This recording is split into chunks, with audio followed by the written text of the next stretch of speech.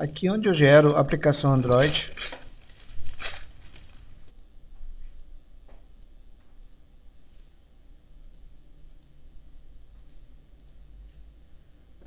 Aqui eu tenho a versão mínima do Android. Eu estava tendo um problema. Entrei no meu diretório onde está instalado o Android. Eu vou executar o SDK Manager.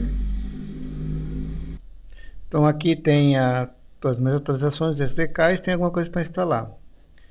Aqui tem minhas versões e aqui eu tenho o Android 4.0. Para mim não estava instalado isso aqui, então não estava funcionando. Então eu tenho que marcar aqui e fazer a instalação do pack.